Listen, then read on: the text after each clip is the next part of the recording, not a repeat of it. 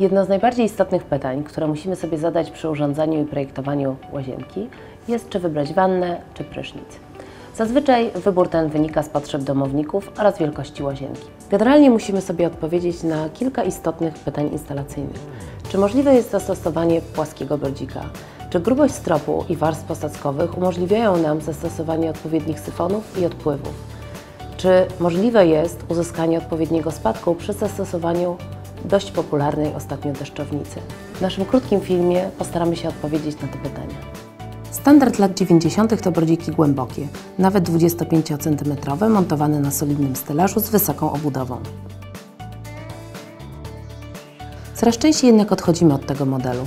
Wybieramy brodziki płytsze, 12 cm lub zupełnie płaskie, stawiane lub zlicowane z podłogą. Płaskie z reguły prostokątne brodziki mogą mieć nawet 140 cm długości i swobodnie zastąpią miejsce wanny także w łazience blokowej. Modne są także rozwiązania bezbrodzikowe, np. szklana szyba typu kin postawiona na płytkach plus odpływ liniowy.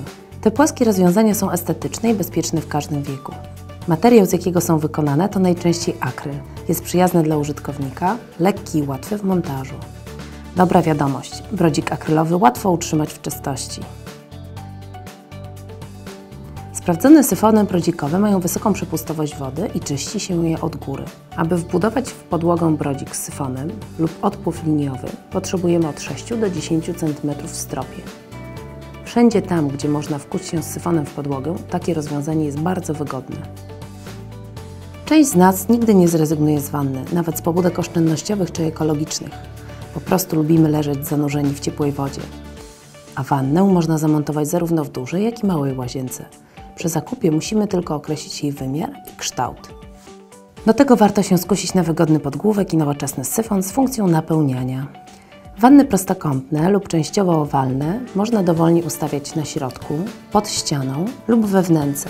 Materiał, z jakiego są wykonane, to akryl.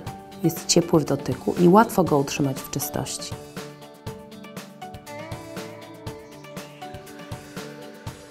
Wanny narożne, asymetryczne to dobry wybór do małych łazienek. Do tego parawan nawannowy, odpowiednio dopasowany do wanny, jak i konstrukcji ściany. Do wanny dobieramy zawsze dobry syfon o odpowiedniej długości. Natomiast nogi stabilizujące wannę są zazwyczaj w komplecie.